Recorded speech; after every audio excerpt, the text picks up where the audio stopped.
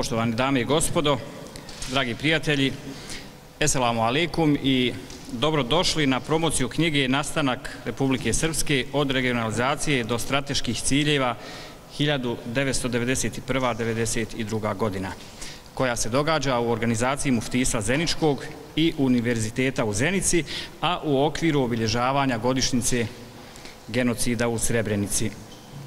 Dozvolite mi odmah na početku da posebne selame i dobrodošli su uputi mufti Zeničkom, Hafisu profesoru doktoru Mevludine Efendi Dizdareviću, poštovanom rektoru Univerziteta u Zenici, profesoru doktoru Jusufu Durakoviću, dekanima, univerzitetskim profesorima, autorima knjige doktoru Muameru Džanaloviću, doktoru Jasminu Mediću i doktoru Hikmetu Karčiću, promotorima, profesoru doktoru Dževadu Drini i profesoru doktoru Ajdinu Husein Spahiću, kao i svima vama uvažene dame i gospodo. Knjiga Nastanak Republike Srpske od regionalizacije do strateških ciljeva 1991-1992. godina nastala je s ciljem da se opiše nastanak Republike Srpske i da se da naučni odgovor na sve učestalije brutalne pokušaje prekrajanja historije ko autorsko dijelo Muamera Đanonovića, Hikmeta Kačića i Jasmina Medića u izdanju Instituta za istraživanje zločina protiv čovičnosti i međunarodnog prava Univerziteta u Sarajevu i Instituta za historiju Univerziteta u Sarajevu bavi se pitanjem zločina počinjenih tokom rata u Bosni i Hercegovini u periodu 1992-1995. godina i kako je došlo do formiranja institucija entiteta Republika Srpska. Fokus knjige je, kako i sam podnaslov kaže, na regionalizaciji i strateškim ciljevima u kontekstu formiranja autonomnih oblasti u Bosni i Hercegovini, koje su u periodu 1991-1992. godina postale Republika Srpska. Organizatori večerašnje promocije su Muftistvo Zeničko i Univerzitet u Zenici. U ime organizatora pozdravne riječi uputit će nam prvi ljudi ovih institucija, Muftija Zenički, Hafiz, profesor doktor Mevludin Efendija Dizdarević i rektor, profesor doktor Jusuf Duraković. Prvi će nam se obratiti Muftija Dizdarević. Uvaženi Muftija, izvolite. Bismillah, alhamdulillah, ve sallallahu ala rasulillah. Poštani rektore, uvaženi dekani, cijeni profesori, eh, dragi promotori i autori Dame i gospodo, eselamu alaikum i dobar dan vam želim. Za Bosnu i Hercegovinu u cijelini i Bošnjake posebno ne postoji važnija, bitnija tema od pitanja genocida. Pitanje genocida nad Bošnjacima u periodu 92-95 ili presuđenog genocida u Srebrenici na drugim mjestima jeste pitanje od strateškog životnog značaja za Bosnu i Hercegovinu i Bošnjake. U tom pogledu moguće je imati dva bitna odnosa, dva strateška odnosa prema ovom pitanju. Prvi odnos je odnos emocija, odnos emocija i da se gradi emocionalan uklon sprem ovog događaja. To se čini na komemoracijama, to se čini kroz pravljenje umjetničkih instalacija, slika, filmova i tako dalje, ali postoji drugi, po meni važniji način, a to je način diskurzivnog akademskog pristupa, pristupa činjenica, pristupa racionalnog pristupa koji omogućava činjenično istinito zasnivanje o, i odnošenje sprem određene teme. Zbog toga smatramo ovu današnju promociju važnom, jer ova današnja promocija i knjiga koju predstavljamo i oslovljavamo ima zadatak da je na jedan diskurzivan način, na način e, prihvatljiv univerzitetskoj praksi, akremskim zakonom, to smo i zakonitostima naučne logike i naučni, e, naučni zakona, da predstavi jednu od životnih životno važnih pitanja za Bosnu i Hercegovinu i Bošnjaka. Stoga, naravno, smo se opredijelili u saradnji, zahvaljujući Univerzitetu u Zenici, da ovu promociju baš imamo ovdje, na Univerzitetu u Zenici, u ovom hramu znanja, jer Univerzitet i nauka ima ambiciju da govori i traga za istinom, A gdje je vjerodostojnije e, mjesto za traganje za istinom nego na univerzitetu i od strane e, e, naučnih radnika. Stoga, naravno, zahvaljujem se Univerzitetu u Zenici, rektoru, zahvaljujem se današnjim promotorima što su i promotorima i autorima, naravno, što su se e, odvažili da zajedno oslovimo ovu jednu i emocionalnu, tešku temu, tešku temu, jer ova tema, pitanje Srebrenice, pitanje osnivanje e, e, e entiteta RS je sve nas, za sve nas, emocionalna, teška, bolna tema, ali ona se mora otvarati uvijek iznova zbog nas, ali i zbog budućih generacija. Stoga, naravno, zahvaljujem svima vama što ste došli, da podržimo ovu temu, dakle što ste prepoznali važnost ovih, ovog, ove teme i ove knjige i zahvaljujem naravno autorima što su naravno poklonili nama, poklonili javnosti Bosne i Hercegovine ovako važno, važno štivo, štivo koje obavezuje i štivo koje stvara platformu za racionalno naučno razumijevanje onoga što nam se desilo. Hvala lijepo. Selam aleikum. Hvala uvaženom mufti. Ja pozivam poštovanog rektora, profesora doktora Jusufa Durakovića da nam se obrati. Poštovani muftija doktore Dizdaroviću, cijenjeni dekani, profesori, autori i promotori knjige, dragi gosti, mediji, dozvolite mi da vas u ime Univerziteta u Zenci sve poselamim i pozdravim i da vam se zahvalim što danas prisustujete promociji ovog štiva. Univerzitet je mjesto gdje se trebaju promovisati knjige. U zadnje vrijeme napravili smo dobru saradnju sa muftistvom Zenčki, sa kulturnim društvom Bošnjaka Preporod i ja se zahvaljujem vodećim ljudima što smo napravili takav vid saradnje da se kroz promociju knjige širi misa u ovom slučaju o stvaranju Republike Srpske. Univerzitet u Zenci u sklopu obilježavanja godišnjice genocida u Srebrenici daje svoj doprinos. Sinoć smo imali jednu promociju u hotelu Zenca u saradnji sa kulturnim društvom Bošnjaka Preporod, gdje se govorilo o genocidu u Srebrenici. Govorio je naš poznati istraživač Amor Mašović. Sala je isto bila puna. Evo večeras govorimo o jednom dokumentu koji će biti sigurno istorija kada će se govoriti i čitati kako je nastajala ta Republika Srpska. Ne znamo mi puno o tome i zato je dobra prilika ja se zahvaljujem autorima što su prepoznali potrebu da ostane zapisan dokument po kojem će vjerovatno nekad mladi čitati kako je to sve nastajalo. Ja svima nama želim da večeras čujemo dosta novih informacija koje nismo znali, a autorima i promotorima još jedan put čestitam. Hvala vam. Hvala uvaženom rektoru. A o knjizi Nastanak Republike Srpske prvi će večera se govoriti profesor dr. Aydin Husein Spahić, univerzitetski profesor na katedri za historiju državi prava Pravnog fakulteta u Zenici i prijesednik Bošačke zajednice kulture Preporod Zenice. Uvaženi profesor, izvolite. Hvala lijepo na najavi gospodine Kalazoviću.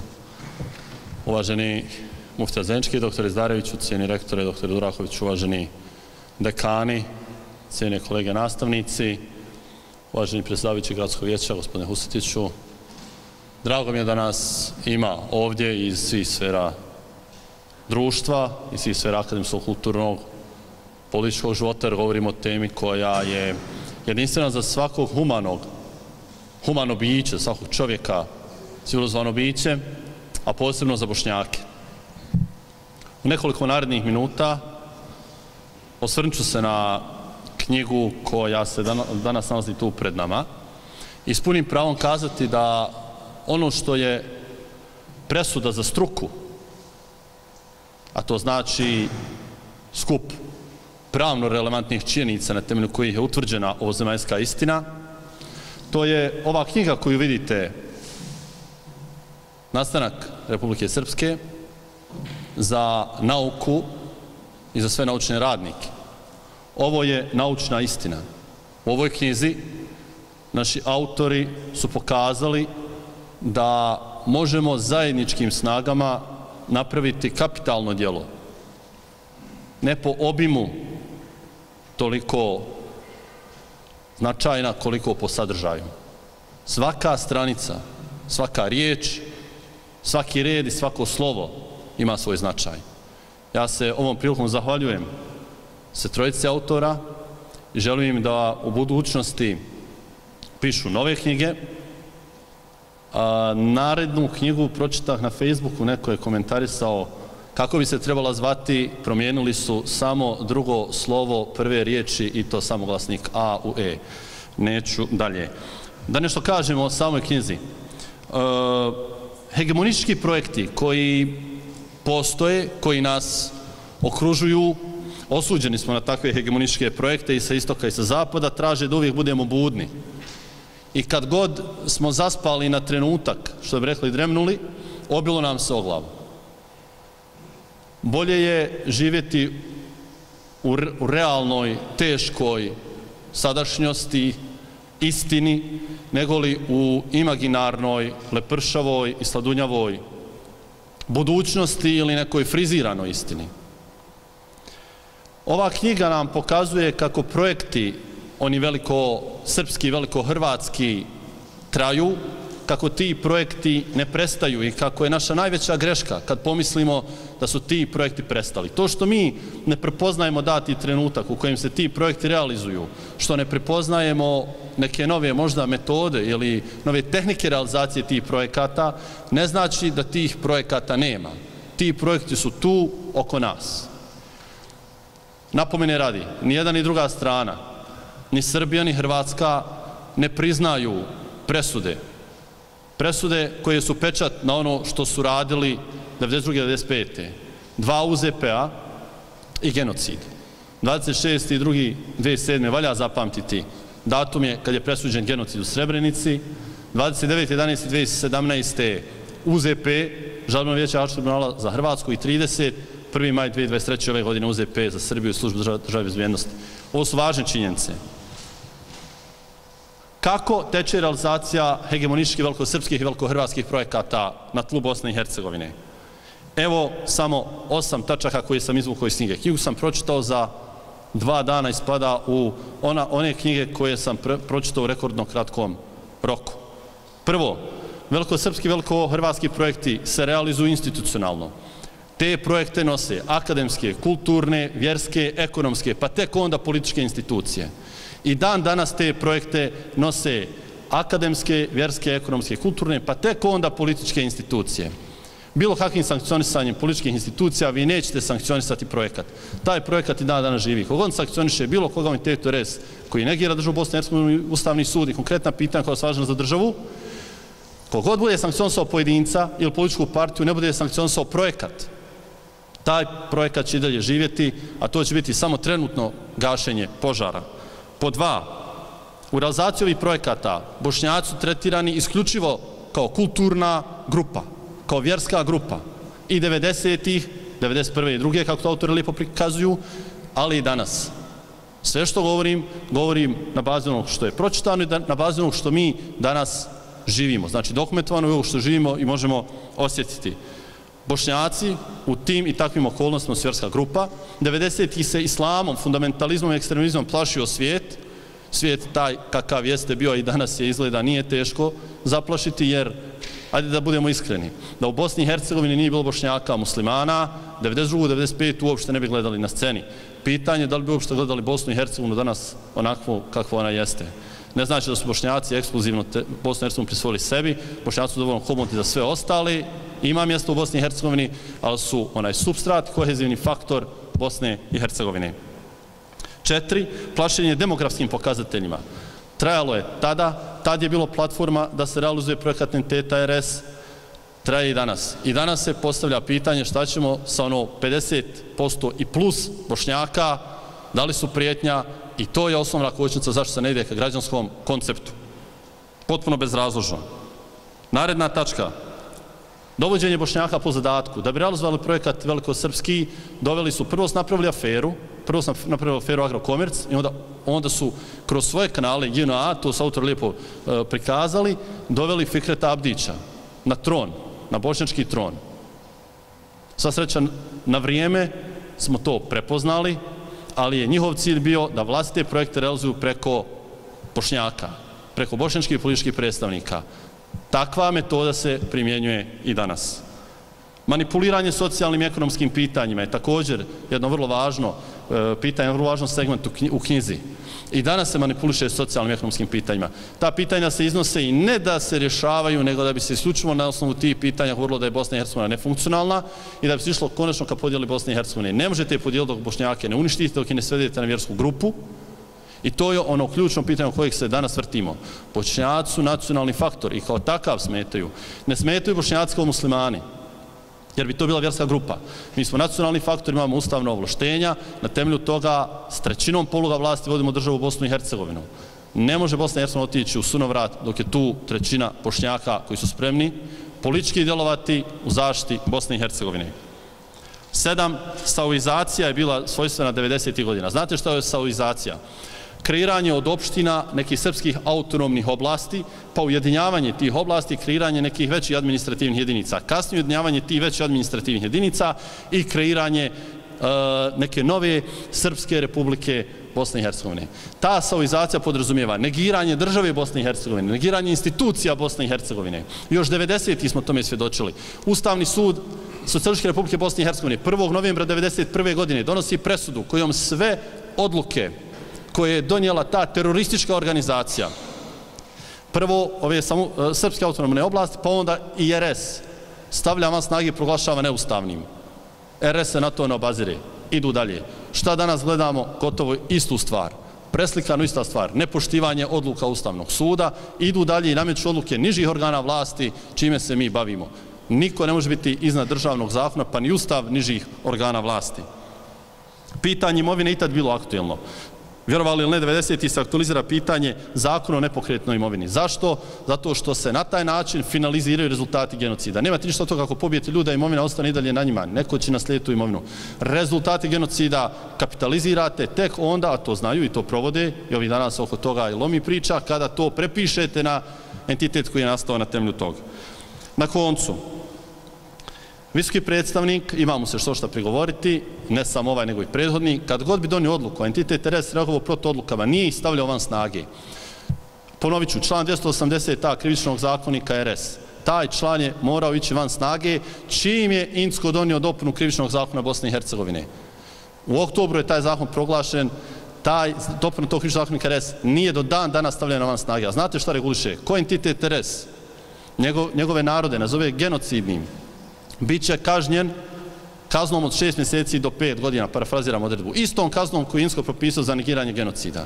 Tu odredbu su morali staviti van snage. Na temelju te odredbe pokrenuti su neki postupci, pa i postupak protiv dekana Štulanovića.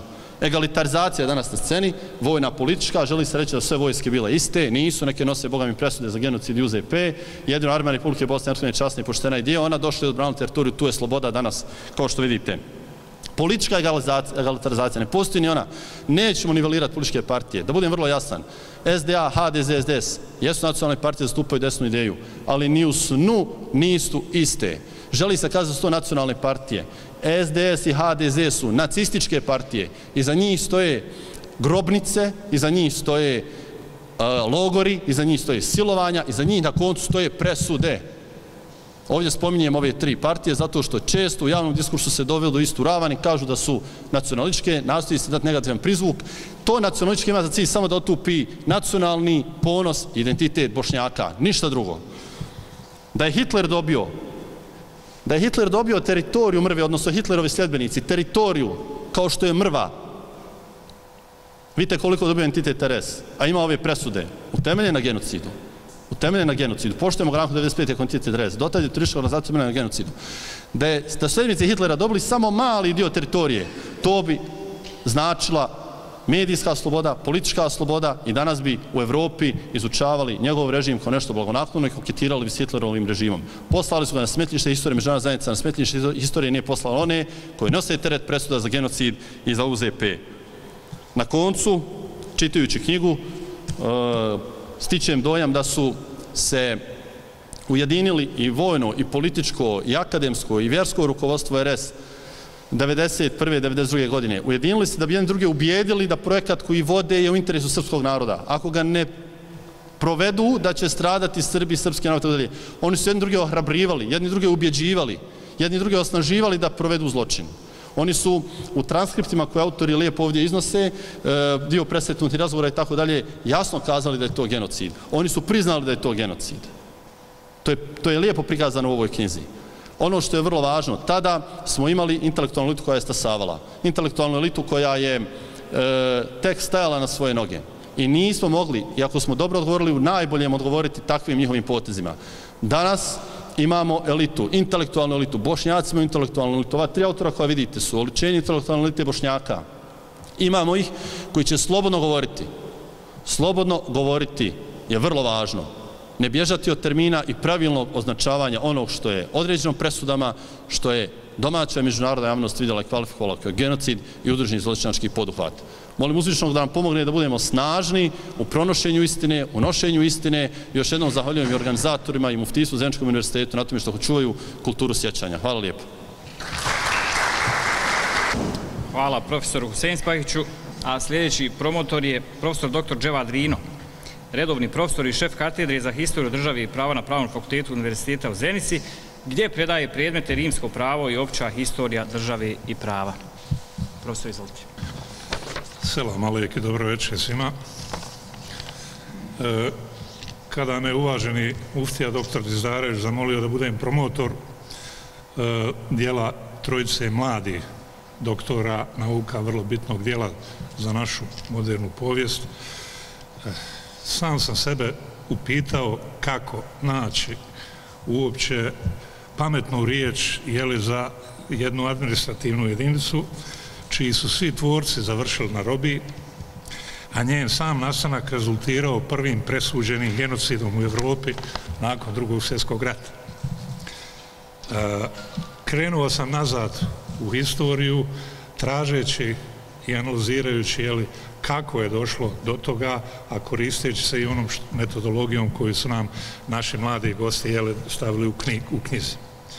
U ovoj godini navršava se 105 godina od kraja Prvog svjetskog rata i ujedno nastanka prve države Južnih Slovena, kraljevine SAS, odnosno Jugoslavije, u koju je ušla dotadašnja i Austro-Ugarska provincija Bosna i Hercegovina, država koja je dakle postojala od 1918. pa sve do 1992. godine.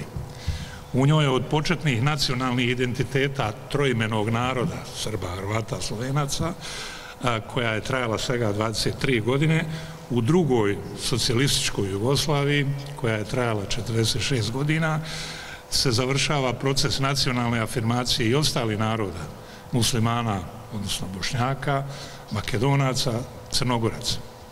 Lucidni filozof Slavoj Žižek će napisati da je povijest Južnih Slovena 20. stoljeća oblikovao pokušaj komunista da pobjede nejednakost. Nisu uspjeli.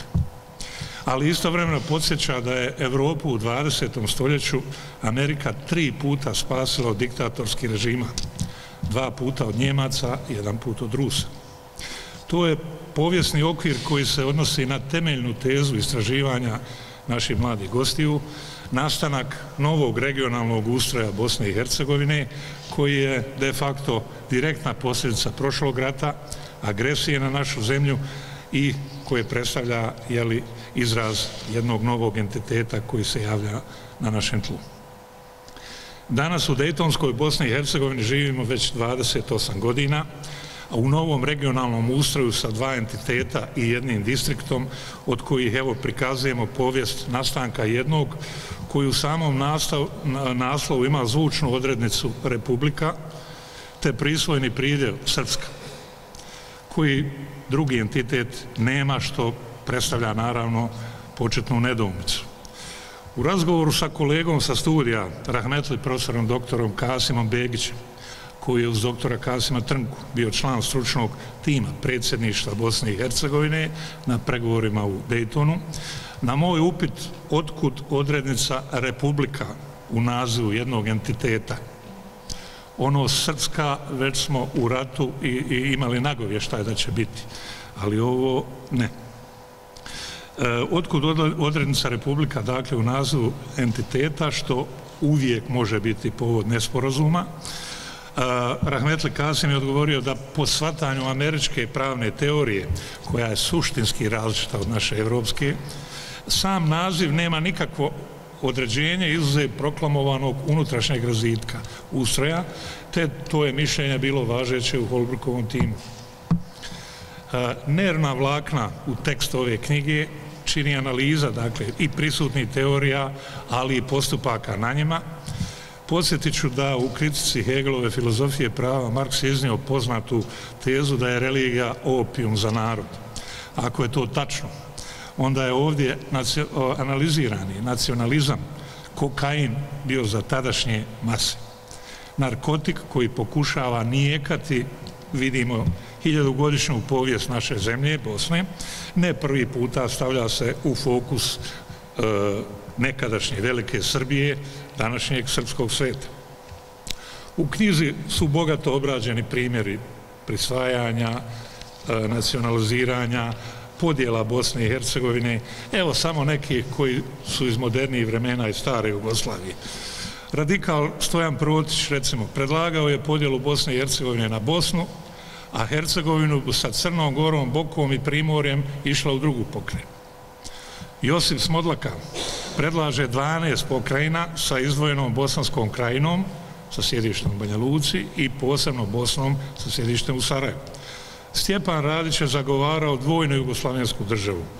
U toj državi bi Vojvodina, Bosna i Hercegovina, Crna Gora i Slovenija bi se plebiscitom izjasnili, dakle, da li pristupaju srpskom ili hrvatskom dijelu jeli, zemlje. Jugoslavenski klub je čak zagovarao tri katoličke, tri pravoslavne pokrajine. U njegovoj varijanti Dalmacija bi se priključila Bosni i Hercegovini, ali radi stvaranja katoličke većine u njoj.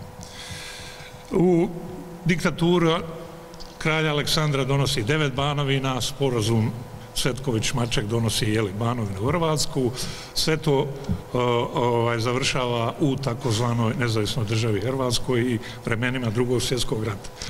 Kuriozitet da istaknem, recimo, jedan od vođa druge prizanske lige, Bedri Beg Pejani, traži pripajanje Albanije, Sanđaka i Bosne i Hercegovine. Posjetit ću da je Velika Albanija zvanično proglašena Mussolinijenim dekretom iz 1941. godine obuhvatala i dio Sanđaka. Vratimo se nauci. Srpski akademik Sima Čirković je napisati da se politička samostalnost i individualnost srednjovjekovne Bosne teško može izričitije formulisati od navoda Ivana Kinama. Citiram, da Bosna nije počinjena arhižupanu Srba, nego narod u njoj ima poseban način života i upravljanja. Završen citat.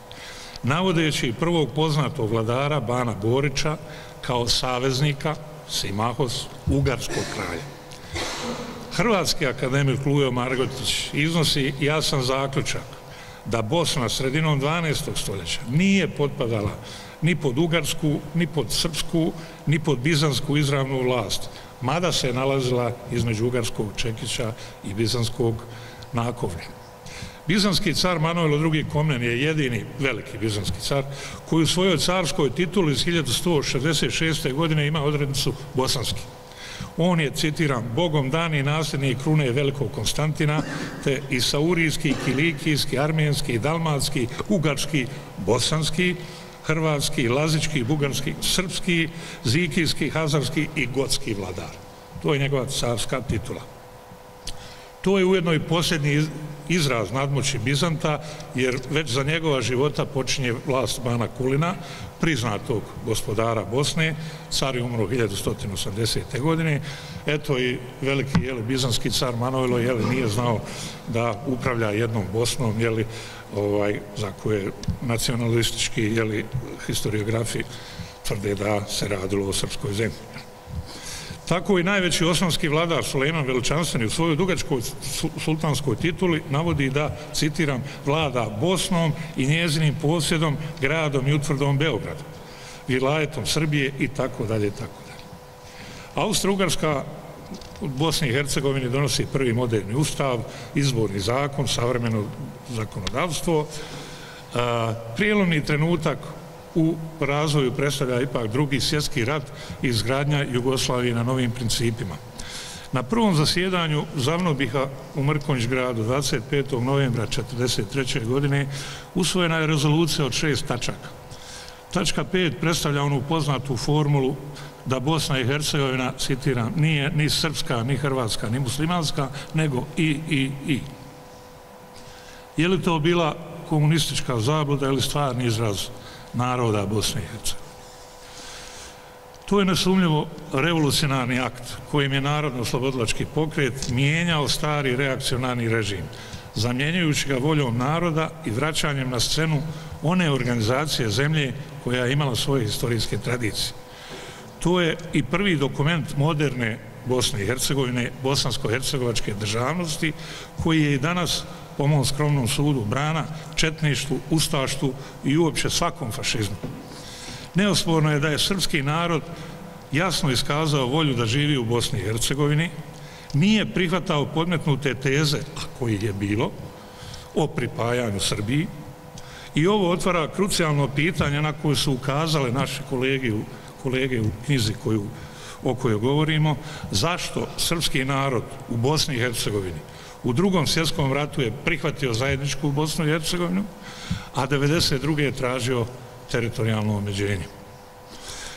Izvori ukazuju da su vođe iz reda srpskog naroda, govorimo o drugom svjetskom ratu, Đuro Pucar Stari, Rodoljub Čolak i svi drugi, jasno tražili Bosnu i Hercegovinu, jer su u njoj s drugim narodima podnijeli najveće terete rata, sve neprijateljske ofanzive i najveće žrtve u drugom svjetskom ratu.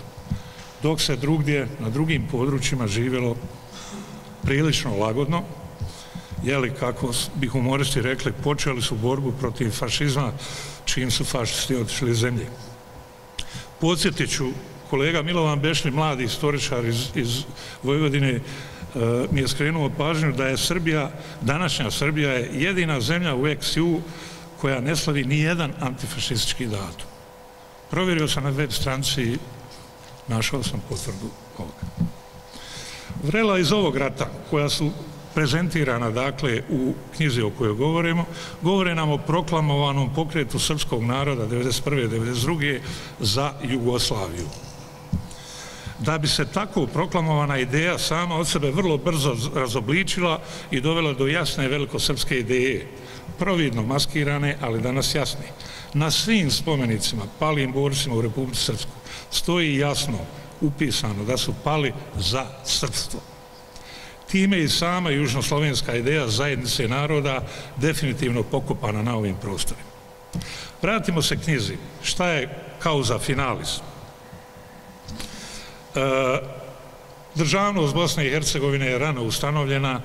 Njenu osnovu čini nešto što predstavlja jasno omeđen državni teritorij, dakle jedna od rijetkih zemalja u okruženju sa konstantnim granicama i konstantnom teritorijom. U povijesti nisu migrirale samo narodi, nego su migrirale, selile se iz zemlje.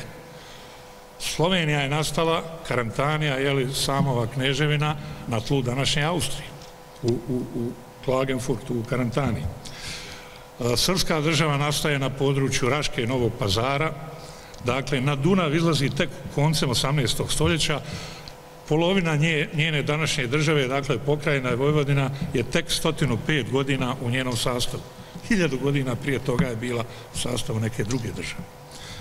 Hrvatska država nastaje u zaleđu Knina, to je 20 km jele od bosansko-hercegovačke granice, danas je sjedište daleko, daleko ovaj, na sjeveru. Domaća vladarska dinastija Kotromanića, ni jedan susjedni vladar ne nosi bosansku kraljevsku titulu. Naprotiv, bosanski kralj tvrtko se kruniše za srpskog kralja, što će nositi i svi njegovi nasljednici, sve do Stjepana Tomaševića. Državni aparat, pravo, ideologija, a različito od susjednih zemalja, granice na rijekama Savi, Drini, uobličene u 17. stoljeću. Religijska posebnost crkve bosanske, vlastito pismo bosančica, autohtona kultura, umjetnost, pravo. Kasnija osmanska vlast, zanimljivo, nije uništila zatečene obje kršćanske religije. Nije prihvatila odrednicu Zapadne Evrope, dakle, e, ovaj, čija je regija, to, e, toga je i vjera. Dakle, ona odrednica koja se javlja od Vestalskog mira. Naprotiv, pridodata im je najstarija monoteistička religija, judaizam. Jevreji su jedini narod koji je svojom voljom došao i prihvaćen u Osmanskog carstva. Oni nisu pokoreni, oni su došli svojom voljom iz jednog drugog carstva koje, gdje su bili istirani. Padom Bosanskog kraljevstva 1463. godine formira se zasebna upravna jedinica Bosanski Sanđak, a od 16. stoljeća je Bosanski Pašaluk, Ejalet ili Begler Beglu.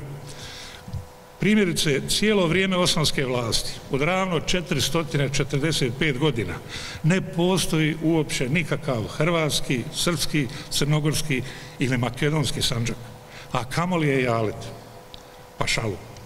To je ujedno jedina osmanska provincija u Evropi, sastavljena isključivo od zemalja južnoslavenskih naroda i dobrim dijelom se poklapa sa teritorijama koje su bile u vlasti najvećeg bosanskog kralja, kralja Tvrtka prvog. To su fakti, to su činjenice. Nije ne može niko izmijeniti. Šta raditi u dalje? Historija ne poznaje ni jedan konstantan pojam. Sadržaje variraju. Jezice generišu različite misalne obrazce novo vrijeme uvijek može smanjiti jaz između sadašnjosti i prošlosti. Ali povijest ne podnosi vakum. Ništa u životu ne uspjeva kao uspjeh. Uspjeh rađa samo pregalaštvo. Budimo pregaoci bolji od drugih. Izgrađujemo bogato, pošteno, tolerantno i uredno društvo, pa će nas svako željeti za partnera, susjeda, prijatelja, državljana tad su entiteti ono što i jesu, samo administrativni pojam. Hvala lijepo. Hvala uvaženom profesoru Drini. A sada će nam se obratiti jedan od koautora knjige, dr. Muamer Đananović.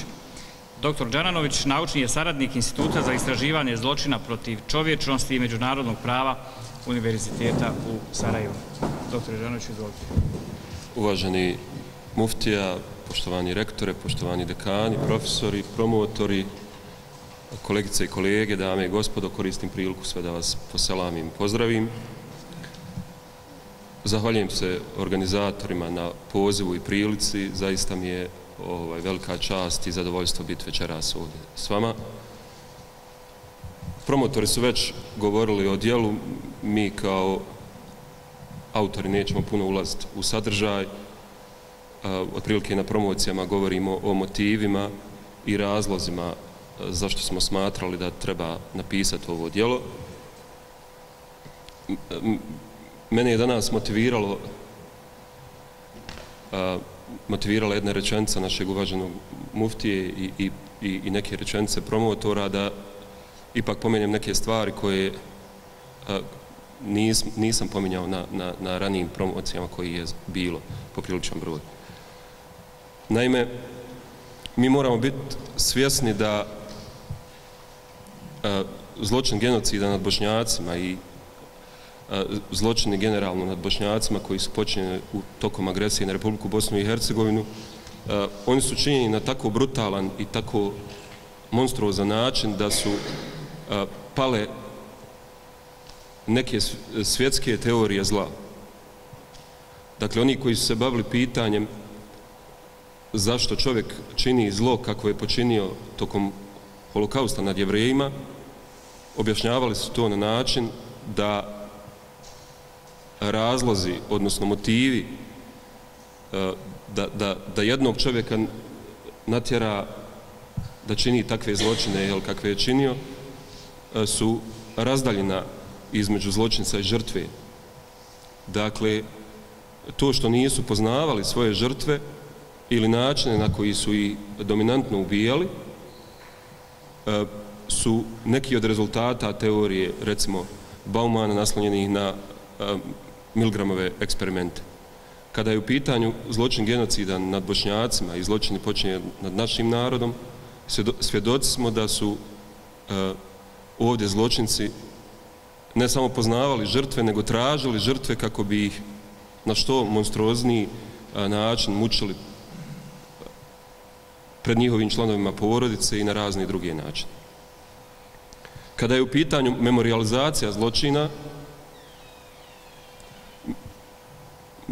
mi i to mnogi autori ističu, ne trebamo da idemo dalje od jevreja koji to rade na adekvatan način.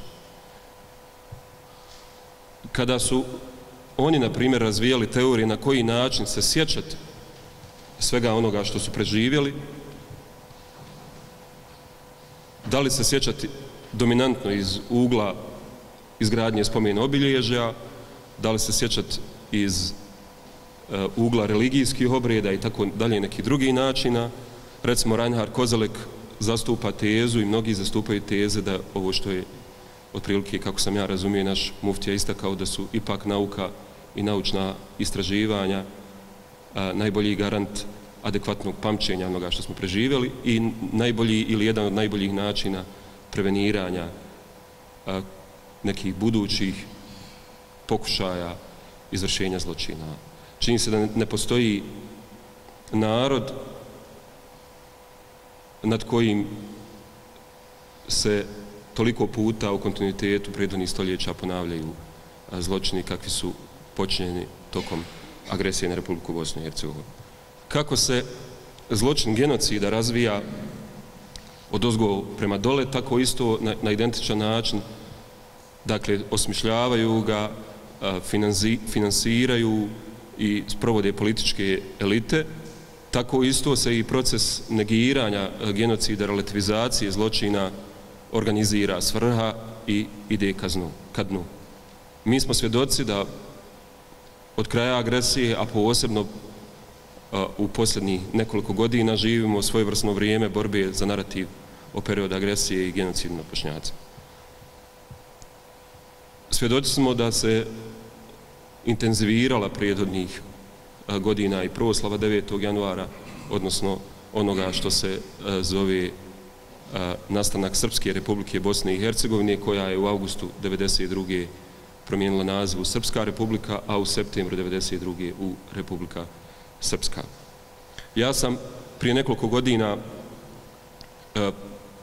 gledao jedan prilog u kojem su novinari obilazili E, prolaznike u Sarajevu, istočnom Sarajevu, u Banja Luci i nekim drugim bosansko-hercegovačkim gradovima i razgovarali su sa, sa ovaj, stanovnicima tih gradova, sa prolaznicima i pitali i postavljali im nekoliko pitanja. Jedno od njih je da li podržavaju proslavu i obilježavanje 9. januara. Odgovor vam je jasan, jel, kakav je gdje bio.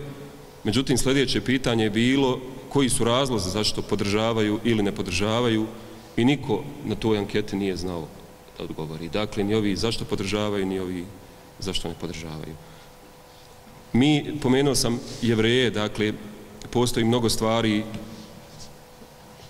i pozitivnih primjera na koji način se pamtiti zločine, ali ima još jedan ili nekoliko uh, koji su motivirajući za mene, dakle neke, neke pogreške koje su i oni radili. Uh, kada obilazite svjetske memorialne centre, kao na primjer u Austriji najveći Mathausen, dakle prostor gdje je bio najveći logor za jevreje na, na, na, na, na, u Austriji. Eh, tamo se nalazi zaista svjetski memorialni centar iz ko, u koji, koji posjećuju stotine hiljada studenta, učenika i tako dalje. A kada vas odvedu u susjedni logor kroz koji je također prošlo stotine hiljada eh, i ubijeno desetine hiljada žrtava, recimo Gusen, e, očekujete e, zgradu e, ili zgrade ovaj, ili memorial sličan kakav je ovaj Mathausen, međutim tamo kada dođete, tamo se nalazi, možemo reći, jedna manja soba koju jedva pronađete, koja je okružena brojnim stambenim jedinicama, kustosi vam pokažu ispred jedne vilije stanete i pokažu vam fotografiju koja je nastala tokom drugog svjetskog rata i, i nevjerovatna, dakle, identična zgrada stoji, odnosno ta vila i danas. E, na njoj je okrećena fasada i na, na istim mjestima su prozori, isti je krov i tako dalje, međutim danas se tu nalazi ispred te zgrade, odnosno nalazi se kada sam ja bio Porsche i postavljate logično pitanje koja, šta, se, šta, se, šta je razlika, zašto, zašto je tu nije memorial kakav treba da bude ili kakav je ovaj u Mathausenu. Odgovor je sljedeći, oni koji su preživjeli Mathausen, oni su odmah na, nakon završetka drugog svjetskog rata insistirali da se tu pravi um, memorial, uh, da to bude mjesto edukacije, učenja, da se tako zlo nikad nigdje ne ponovi, a ovi u Gusenu to nisu radili 30-40 godina nakon drugog svjetskog rata. Pouka koju sam ja izvuk, izvukao da generacija, ja sam preživio opsadu Sarajeva, porijeklom sam iz istočne Bosne i većina ovdje je ili branila ovu državu tokom agresije ili preživjela uh, uh, agresiju. Dakle, generacija koja ima dodirnih tačaka sa agresijom njena, obaveza je da sadašnjim, a vidim tu evo, i dječaka i djevojčica, dakle tim generacijama i idućim koji će doći posle nas, da učini što je god moguće više da im ostavi adekvat, adekvatno u nasljeđe dakle, istraživanja, rezultate istraživanja o svemu onome što smo preživjeli, kako bi oni mogli u borbi za narativ koji će sigurno voditi, imat čime da brani istinu o agresiji i nad našim narodom. Mi smo, dakle, nas trojica, inkorporirali svoja naučna istraživanja koja traju najmanje po deset godina svakog od nas, procijenili smo da je jako važno za, za bosansko-hercegovačko društvo, za moment, moment ili momente koje se nalazimo prijetodnih godina da ovaj fenomen nastanka te Republike Srpske objasnimo kako široj javnosti, bosansko-hercegovačkoj, naučnoj i javnosti uopšte, tako isto i onoj izvan granica naše zemlje. Ja ću se, neću, eh, potruđu se da brzo završim, eh, mislim da smo dokazali ili potvrdili E, tri, tri stvari najmanje. Potvrdili smo svakako te velikosrpske teritorijalne ekspanzionističke, e, ekspanzionističke pretenzije prema Bosni i Hercegovini o kojim su govorili promotori, ali smo dokazali jednu jako važnu stvar, E, dokazali smo genocidnu namjeru nad Bošnjacima koja je postojala dakle do početka agresije na Republiku Bosnu i Hercegovinu i dokazali smo ne islamofobiju nego anti-islam e, dakle neverovatnu mržnju e, srpskih političkih elita e, do početka agresije na Republiku Bosnu i Hercegovinu. Ona je prisutna i danas, ali moj je utisak da je ona danas a, puno otvorenija, tada je skrivenija bila u tom periodu i mi kroz izvode neke iz, iz dokumenta, kroz presretnute razgovore, a, to prezentiramo. Ono što a, na, promocija, na promocijama knjiga nam ljudi govori, taj, to nam je malo prije na, na druženju, prije promocije naš uvaženi moderator kojim se zahvaljujem na, na vođenju programa i njegovom doprinosu u ovoj promociji, a, kazao, ljudi oduševljava to što smo, juče smo u Visokom imali a, ovaj moderatoricu, dakle imali smo sinoć promociju koja je e, sve pripremila, ali nije izguglala i nije vidjela naše likove dok nas nije vidjela tu i nije mogla da ovaj, vjeruje da smo mi eto, tako mladi, a uhvatili smo se u koštac sa ovakvom temom i radili na ovakav način. E, dakle, ljudi oduševljava to što smo mi mladi, ali i sljedeća stvar koja govori dosta o stanju našeg društva, to da smo, da tri bošnjaka sarađuju na nekom projektu. Znate, to je nažalost nešto što nam dosta ljudi govori. Sljedeća stvar koju nam naši prijatelji govori, a neke o, i vi poznajete ovdje, ali neću im govoriti mena, jer to nije važno, ali pojavljuje se više njih, upozoravaju nas a, da, će, da će nam vrlo brzo, ako već nisu, se pojaviti bošnjaci koji će pokušati da prekinu naše, a, naš fenomenalan, dobar, e, kolegijalan odnos, naše prijateljstvo i mi se i privatno družimo i porodice nam se znaju i tako dalje. Ma nećemo, naravno. A, Dakle, mi se ne obazirimo puno, mi smo generacija e, bošnjaka koji, koji se ne boje, mi smo generacija bošnjaka koja se ne obazirije puno na razne prijetnje koje, koje, ili poruke koje dobijamo, možete izgooglati recimo prijetnje ili upozorenje od koje je dobio kolega Ikmet Karčić nedavno od jednog od srpskih ili srbijanskih naučnih lidera koji je upozorio vlast entiteta Republike Srpske da obrate pažnju na njega, posle toga napao je kolegu Medića i tako dalje, ali dakle ne bojimo se, ne obazirujemo se E, na te stvari i ono što želim da naglasim da smo mi generacija Bošnjaka kojima granice e, odnosno ovaj naučni rezultati naših istraživanja, ne želimo da, da ih držimo u granicama naše države, Također nismo prikačani ni na kakve fondove, e, naši zidovi nisu ni u Beogradu ni u Zagrebu i nismo prikačani ni na te fondove. Naša je želja da, i mislim da smo već na neki način u tome uspjeli, da i ova dijela i naša buduća dijela, jer smatramo da se borba za narativ u periodu agresije vodi e, van granica naše države, dakle da izađe u svijet i mi smo evo već ovaj dobili pondu od jednog britanskog izdavača da ovo dijelo bude prevedeno e, na engleski jezik. E, ono što još želim da naglasim, dakle, mi smo nismo pisali knjigu zato što smo znali da ćemo imati ili razmišljali o tome da ima veliki broj promocija, da bude veliko, velika zainteresiranost, ali je činjenica i to je, evo jučer promotor istakao da je knjiga izazvala na neki način pažnju prije nego što je objavljena. E, I mi smo dobijali ozbiljne ponude od izdavača koji rade jel, u komercijalne svrhe i mogli smo finansijski jako dobro proći, ali nismo o tome razmišljali. Mi smo željeli da ovu knjigu objave institucije koje nisu mogle da isfinansiraju neki minimalan ovaj broj tiraža, dakle, ali smo generacija koja razmišlja na način da samo jake institucije ovaj čini jaku državu. Ono što želim također da naglasim, dakle, da su, mno, kada pročitate ovu knjigu, vidjet ćete mnoge sličnosti u ponašanjima, u djelovanjima, u, u porukama a, iz te dominantno 91. njome se najviše bavimo sa današnjim periodom i s tim u vezi e, svakako ne treba da se pocijeni secesionističke najave ili neustavno djelovanje onih koji nasrču na državu Bosnu i Hercegovini. Na kraju svog izlaganja koristim priliku da se najiskrenije zahvalim e, promotorima, organizatorima, posebno našem uvaženom mufti koji je on na neki način inicirao e, ideju da mi dođemo i budemo večeras s vama ovdje. Hvala vam svima na pažnju. Hvala doktoru Đaranoviću. A sljedeći promotor je također koautor knjige doktor Jasmin Medić, naučni saradnik u Institutu za historiju Univerziteta u Sarajevu. Dobro večer i assalamu alaikum svim prisutnima.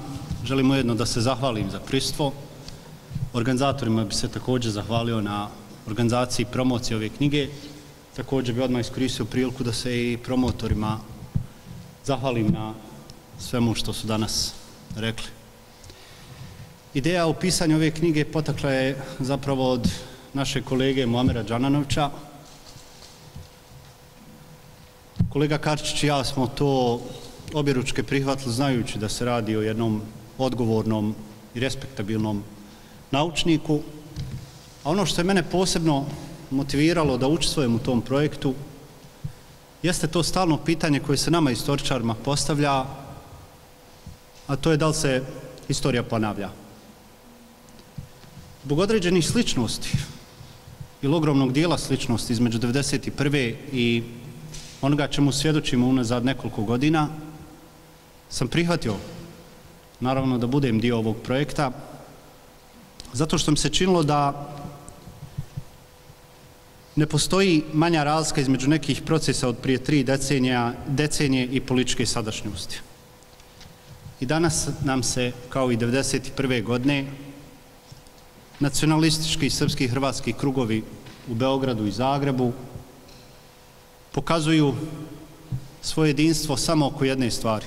To je podjela Bosne i Hercegovine. Dakle, tu su našli kompromis. I danas nam se prijeti izlaskom nekih policijskih formacija, danas na entitetske, a 1991. godine na koje kakve zamišljene i samoproglašene entitet, e, etničke linije. I danas su mnogi svjesni da, kako oni vole da kažu, političko Sarajevo nema efektivnu kontrolu nad svim dijelovima Bosne i Hercegovine.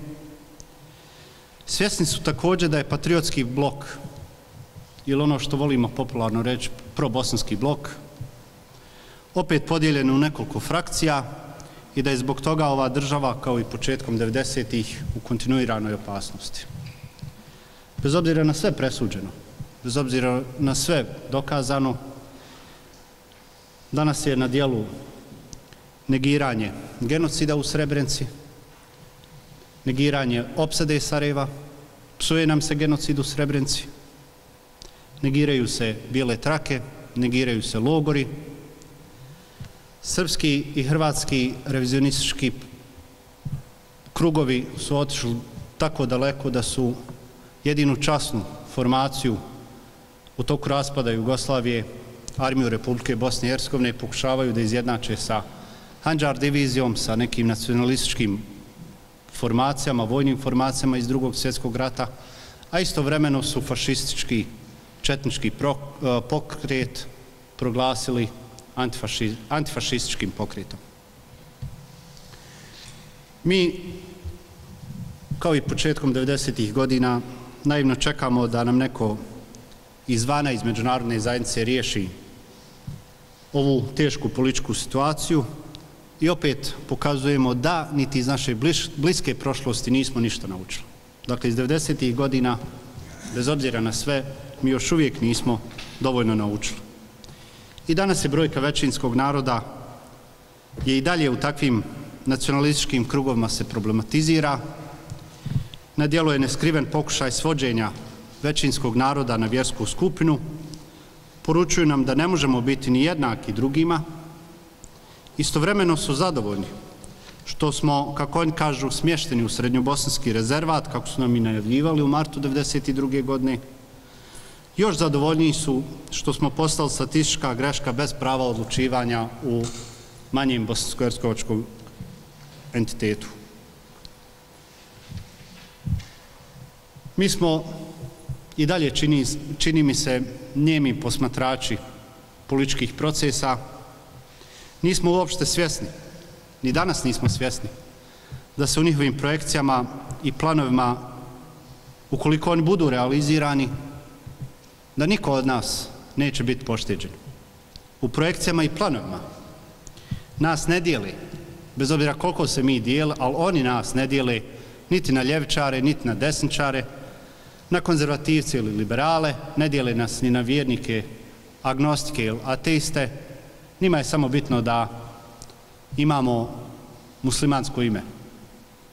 To nas je bliska prošlost naučila. U masovnim grobnicama od Prijedora preko Srebrenice do istočne Hercegovine su završili i oni konzervativni bošnjaci i oni projugoslovenski bošnjaci, svi zajedno.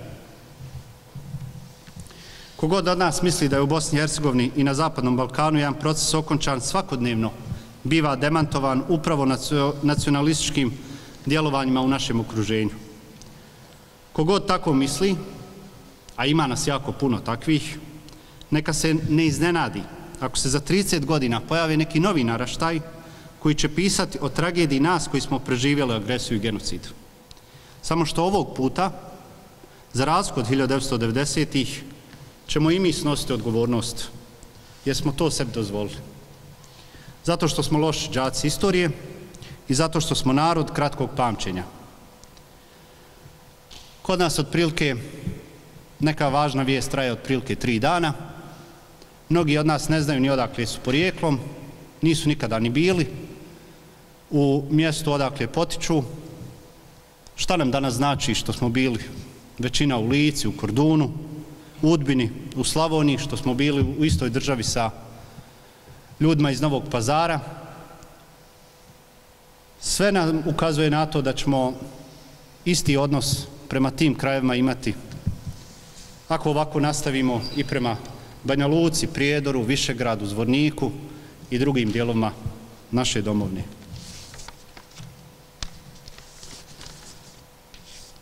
Upravo zbog paralele, dakle, između današnjice i onoga što pišemo u ovoj knjizi, nastala je naša želja da ova knjiga ugleda svjetlo dana.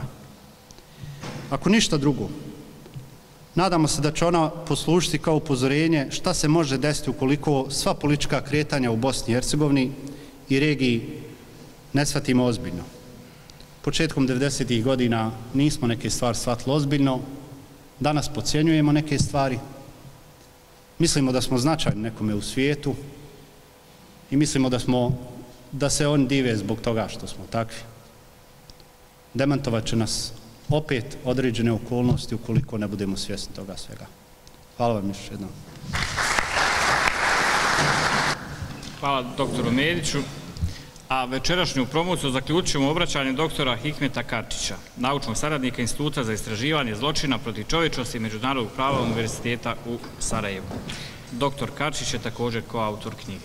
Za početak želim sve da vas pozdravim i posalamim. E, drago mi što sam ovdje večera sa mojim prijateljima e, u Zenci. Zahvaljujem se Mufti Tezareviću na pozivu na organizaciji današnje skupa. Naravno, e, zahvale kao i, kako su moji predavnici rekli, idu i s drugim organizatorima, promotorima i moderatorima i svima ostalima. Mi inače imamo neki drugi redoslijed. Mi inače imamo jedan drugi redoslijed kada, a, kada, kada imamo ove promocije. Idem ja, pa Jasmin, pa onda završavamo Amer. Danas smo malo to okrenuli, tako da ja inače budem malo više kritičan prema bošnjacima u svom izlaganju, onda to i drugi moji kolega to malo ublaže, tako kažem. Tako da možda danas završimo s ovom promocijom na malo pesimistični način. Zašto smo mi ovu knjigu pisali? Iz razloga što nas trojica, mi smo se užasno, užasno nervirali kuknjavom naših politički, akademski i drugi elita. Mi godinama slušamo kako je čovjek koji ima 800.000 ljudi u jednom entitetu, kako on drži kompletnu državu, kompletan region i kompletan svijet u šaci. I mi se želimo međunarodnoj zajednici, mi se želimo ustavnom sudu, eto mi ko, ko biva mi ne možemo ništa uraditi, on je tu, on slavi ovaj 9. januar po cijeloj državi, vrijeđa nam žrtve, negira genocid, dovodi paravojsku na, gran, a, međuentitetsku granicu u Sarajevo i tako dalje. No smo u stvari mi shvatili kroz razgovore s većinom tih ljudi da većina ljudi ne zna šta je 9. januar i kako je uopšte došlo do formiranja Srpske republike. Oni koji znaju želi da prešute, a uglavnom se radi o neznanju. A nas to elementarno neznanje o našoj prošlosti, kao što rekao kolega Mirić, užasno košta. A, ovaj period 1991. godine je bio žestoko zanamaren u dosadašnjim publikacijama koje su naše starije kolege pisale. Dakle, sve knjige koje su pisane o, o genocidu, o agresiji, o ratu, su faktualno, bave se dakle zločinima od 92. i tako dalje. Međutim, stvari su se počele dešavati mnogo ranije, i to mi, da kažem, manje više znamo, ali u ovoj knjizi se pokazuje tačno iz dana u dan, iz sedmicu, kako se šta dešavalo 91. godine. Na primjer, jedan od najbitnijih dokumenta u ovoj knjizi je ovaj grafikon iz elaborata o demografskim procjenama koliko će biti muslimana u Bosni i Hercegovini 2021. godine. Ovaj elaborat iz 1991. godine. Dakle, Srpska demokratska stranka je angažovala Ekonomski institut Banja Luci, angažovala stručnjake, da izvrše procjenu koliko će muslimana živjeti u Bosni i Hercegovini 2021. godine na osnovu popisa stanovništva iz 1961. 71. 81. i 91. godine. I po toj procjeni musliman će biti većina. Dakle, ovo je juni 91. godine. Ovo u kombinaciji sa odlukom naše skupštine tada da se krene u referendum je bio ključni okidač za genocid. Dakle, sva na priča o ubistvu srpskog svata i tako dalje, to je sve jedna druga mitološka priča. Pripreme za ovo su počele mnogo prije. Koliko smo duboko ušli u naše istraživanje, pokazuje činjenicu da smo našli i a, zahtjev za naknadu za više mjesečno radno angažiranje gospođice Nade Đurović, i za njen rad u, u ovom elaboratu ona je dobila 40.000 dinara od Srpske demokratske stranke. Našli, dakle, eksperti ljudi. I tu stvar pokazuje kako je genocid, kako genocid nastaje. Imate te obične sitne birokrate koji radi u svojim kancelarijama, koji ne moraju nikoga ubiti fizički, koji učestvuju u njihovoj dehumanizaciji. Dakle, koji, koji pomaže u tom kompletnom sistemu, kako je to Raoul Hilberg napisao u svojoj knjizi, u kompletnoj mašineriji genocida. I gdje sam tu samokritičan, moramo biti samokritični, mi kao bošnjaci smo rijetko kad samokritični, e, Srpska demokratska stranka je osnivala svoju paradržavu nama pod nosom. U Holdinu na Marin dvoru. Krađeš imao kancelariju tu, sve su, sve su skupštine tu manje više održane do kraja, sam, do kraja marta 1992. godine. Barikade u Sarajevu su dobijala lunch pakete iz Holdina. Sandviće i tako dalje. Dakle, onog dana kada su napustili uh, Holdin je onaj, onog dana kada su zapucali na, na demonstratore, na, na protestu, to sve znate. Dotora sve se odvijalo iz Sarajeva. Prvi službeni glasnik objavljen u Sarajevu, Srpske republike. Dakle, oni su imali nula očekivanje s naše strane. Govorim sada realno. Sad imate vi druge priče koje mogu biti, ali dokumenti, presutnuti razgovor pokazuju mnoge druge stvari. Tu moramo biti samo kritični. Tu imamo jako mnogo dokumenta koji smo koristili, čak nešto što, što, što je kolega Đananić zaboravio da kaže, to je da, da došli smo do dokumentacije Srpske demokratske stranke koja je zarobljena 1992. godine iz njihovih kancelarija, koji je vjerovatno zadnji čovjek koji je to potpisivo bio Radovan Karadžić. Imali smo pristup toj dokumentaciji, dakle dokumentacija koja čak nije korištena ni u, ni u sudovima. Tu su razni dokumenti jako interesantni koji pokazuju, dakle, ne nužno zločin koliko, koliko kompletan taj birokratski aparat koji je stajao iza formiranje, jer stvoriti, odnosno formirati jednu novu vlast, jednu novu državu, zahtjeva jako velik, jako veliku mašineru, jako velik posao i jako veliko odobravanje, da kažem, velikog dijela a, ljudi koji su učestvovali u cijelom tom projektu, njihove porodice i tako dalje. Tako da, a, ova knjiga, mogu vam reći, je, je, e, bavi se tim ti par mjeseci bukvalno od, od sredine a, a, a, 91. godine do šest strateških ciljeva e, 12. maja 92. godine. Vi u, toj, u tom dijelu vidite kako su stvari, e, kako je stvari Srpska demokratska stranka uspjela napraviti sve za, za u roku od godinu dana bukvalno. Oni su dakle 6. aprila već imali sve gotovo i, pod, i uh, ustave pod zakonske akte i ljude. Tačno su znali gdje se koji kadrovik nalazi od Trebinja do Prijedora. Imao su svog čovjeka na svakom mjestu. Imao su svakog intelektualca na svom mjestu. Krajem marta 1992. godine organizuje se kongres srpskih intelektualaca u Holdinu u Sarajevu, gdje dolazi 500 srpskih intelektualaca, uključujući Kmečića, da tu govore o budućnosti Bosne i Hercegovine. Dakle, ovo nije projekat, čak i kad kaže uze pet, obuhvata par ljudi, ovdje govorimo o jako velikom broju, dakle, intelektualna masa koja je podržavala kompletno stvaranje jedne nove državice na ovom području. A mi s druge strane, tada koji danas smo očekivali pomoć zapada, istoka, koga već, i očekujemo da se ništa neće dogoditi jer tu je neko ko će nas štititi. Kroz ovu knjigu vidimo da svi vas poštuju u onoj mjeri koliko ste vi jaki. Tamo gdje nismo bili jaki, 92. godine, tamo, tamo nas nema. I koliko god ovo bolno zvuči, za generacije koje će doći za 10, 15, 20 godina, njima će Višgrad značiti u ono isto mjeri koliko nama svima ovdje znači Sokograd ili Užice ili neko drugo mjesto. Kogod bolno da to zvuči, to je fakt koji mi moramo da prihvatimo. Ono što želim također da kažem, a to je naglasio moj kolega Đananović i Mjerić, uh, borba za ovaj naučni, naučna borba koju mi danas vodimo ne vodi se samo u Bosni i Hercegovini, ona je još važnija van granica Bosne i Hercegovine. I zato je jako važno da, da će se ova knjiga prevesti na engleski jezik i ako Bog da na turski jezik, dakle za stranu publiku, jer mi danas o Bosni i Hercegovini imamo jako malo knjiga napisane na engleskom jeziku. I ako idete u međunarodne biblioteke, skoro sam bio u Americi i tu jedina knjiga koja, mislim, najbolja knjiga koja, koja govori historiji Bosne i Hercegovine je Noel Malcolm koja je napisao Bosna, kratka historija iz 93. godine. Imate jednu knjigu o, o genocidu napisanu, prevedenu na arapski jezik, na primjer. Da ne govorimo o nekim drugim jezicima.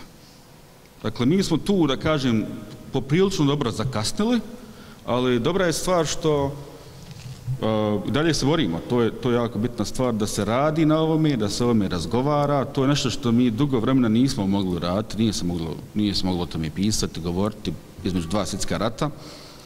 Tako da, koliko god da nas je malo, opet je dobro bitno da se o ovome priča, da se radi, da imamo jake institucije poput memorialnog centra u Srebrenici, na čelu s Emirom Suljegićem koji radi fantastičan posao,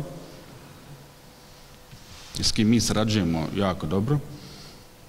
Tako da uz ove naše, dakle, da kažem, naučne institucije i, i, i ove druge institucije državne koje postoje, mislim da će situacija po pitanju kulturi sjećanja sjećanje i kompletnog našeg akademskog znanja o zločinu koji se nama dogodio, da će to biti malo, da ćemo biti u, ipak u boljoj situaciji nego oni koji su nakon 45. godine u četiri zida skupljali a, siročanstva onima, onim pokoljima koji se dešavali u Višegradu, Čajniću, po Sanđaku i tako dalje.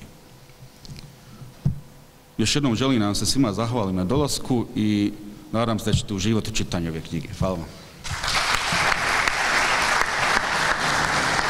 Hvala doktoru Karčiću, a vama uvaženi dame i gospodo, hvala na pažnji i posjeti ovoj promociji. Do neke druge prilike, eselamu alaikum.